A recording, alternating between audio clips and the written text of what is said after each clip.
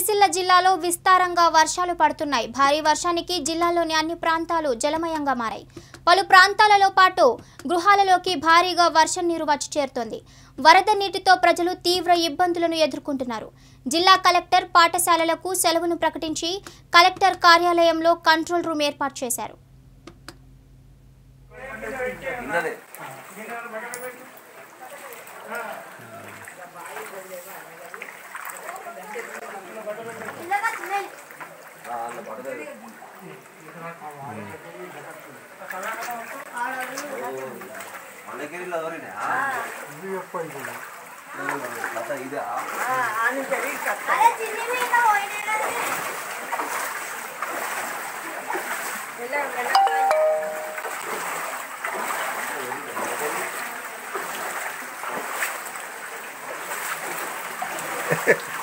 అందులో పడతది. చూడు ఎట్లా ఎంత ప్రెషర్ ఉన్నది వెనకాల ఘోరంగా ఉందే వెనకాల ఘోరమైన పరిస్థితి